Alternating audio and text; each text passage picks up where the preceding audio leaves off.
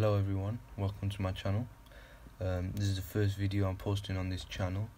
Um, so if you're into computers, budget hardware, you know, stick around because I'll be posting a lot of content like that.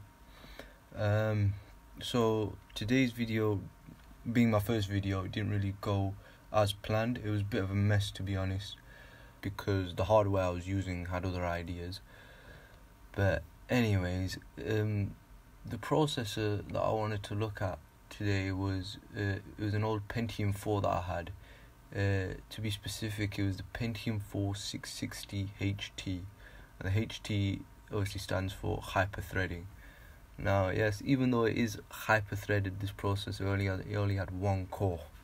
So, if you take a look at the Intel spec sheet on the website, we can see the processor was released in the first quarter of 2005, which makes it well over 10 years old.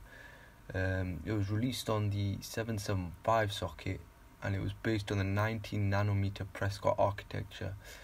So, as I mentioned before, this processor has one core and two threads, and it had a TDP of 155 watts. So, it can get pretty warm. Hence the big cooler, which you'll see later on in this video. Okay, so getting into the video, you can see I have the processor here, and basically I'm just gonna put it into the socket, um, tighten it in, and put some thermal paste on. Pretty standard procedures, uh, and you'll see the huge cooler that I'm gonna put onto it in just a moment. Right, I should mention as well this board uh, and CPU for that matter were out of a old HP W 33 workstation. I can't remember the exact name, but it was an old HP workstation. Okay, so anyway, I put the cooler on and then I dig around for some memory. Uh, this board takes DDR2 memory. I think 4 gig is the max configuration that this board can take. Uh, I put 2 gigs in. Okay, so once I had the memory properly seated, I needed a video card of some sort because this motherboard does not have onboard video. So I look at my closet and I find a GTX 760.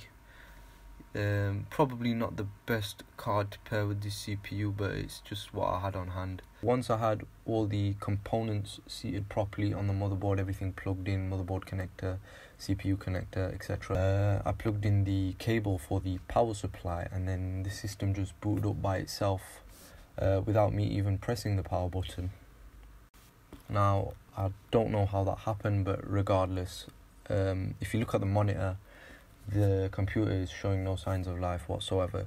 So, my initial thought was that it could be a graphics card issue, but I'm pretty sure this graphics card does work. I have used it in the past before, but nevertheless, I did change out the graphics card for a Asus GT710. Um, that doesn't require any power connectors, so it can't be a power supply issue. So I swap out the card. Once I've swapped the graphics card, I power on the system again, as you can see, uh, using the power switch this time, and still nothing is showing on the monitor. So what I then decide to do is swap out the memory for a different set of RAM, still using 2 gigs. Uh, I put them in and boot the system. With the new memory now in, um, the computer does post, however, it does come up with a bunch of errors saying that front USB is not connected and there's no front audio, etc. Um, etc.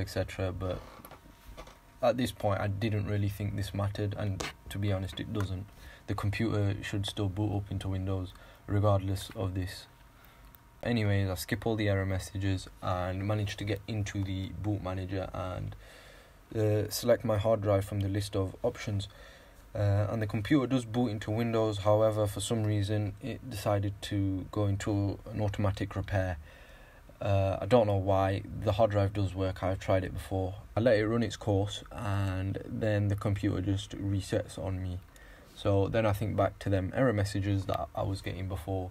So I dug up the original USBs and the front panel uh, audio connector, plugged them into the board, and rebooted the system and this time I didn't get any errors Uh, however, the system still failed to boot into Windows. At this point, I was getting a little bit frustrated. So, what I decided to do is pull out a new hard drive, plug that into the computer, and install Windows 7 other than rather than Windows 10.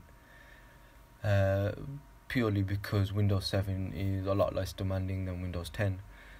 So I I also find my USB DVD reader, reader writer, uh, plug that into the board, and off we go installing Windows.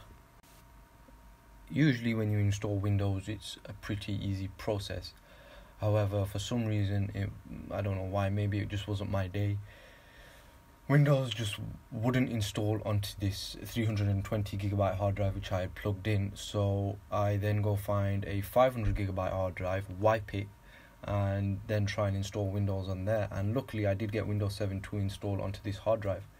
However, I did not record this. This next bit of footage is from about a week later because the Windows installation took a really, really long time and I had to swap out the hard drive as as I mentioned before.